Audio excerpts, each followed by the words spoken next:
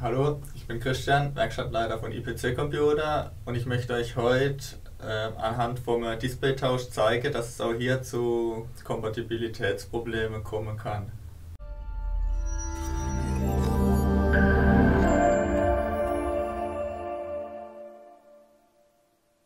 So, wir haben hier ein Toshiba Notebook, ein Tegra Z50-A. Da war das Display defekt und da war ein LG-Display eingebaut. Das ist ein Full HD IPS Display, es sind sehr viele Geräte drin. Und da wollte man ein Samsung Display einbauen. Das ist baugleich und in anderen Modellen auch kompatibel zueinander. In dem Gerät funktioniert es aber nicht.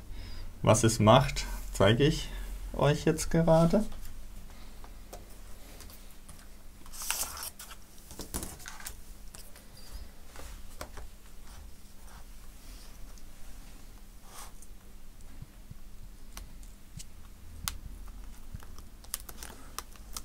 So.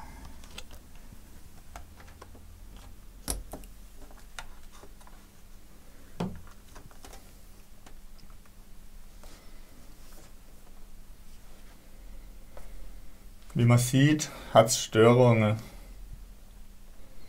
Was jetzt daran schuld ist, ist schwierig zu sagen. In anderen Geräten kann man das LG-Display durch Samsung-Display ersetzen. Das ist das erste Gerät, wo es sowas macht. Ich habe es auch mit verschiedenen Displays ausprobiert, ist immer das gleiche Fehlerbild. Da muss irgendwas an der Firmware oder sonst was anders sein. Glücklicherweise haben wir aber nicht nur Samsung Displays von diesem Typ am Lager, sondern auch BOE. Und mit dem Display funktioniert es. Das will ich auch gerade mal zeigen.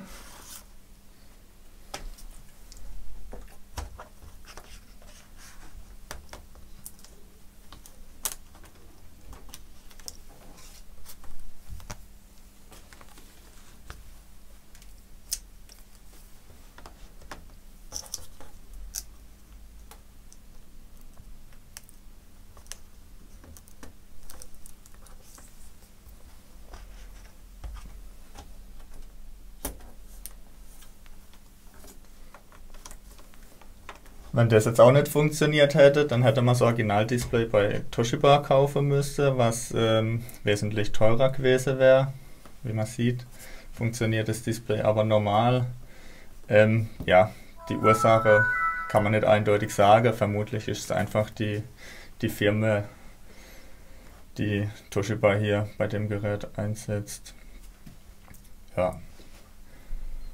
Das Ganze kann auch bei anderen Geräten passieren. Es ist relativ selten, aber es kann auch bei Displaytausch immer wieder zu Problemen kommen. So, das war's. Ähm, wenn euch das Video gefallen hat, äh, könnt ihr gerne den Kanal abonnieren, Bewertung abgeben, Kommentar hinterlassen. Schönen Tag noch, danke.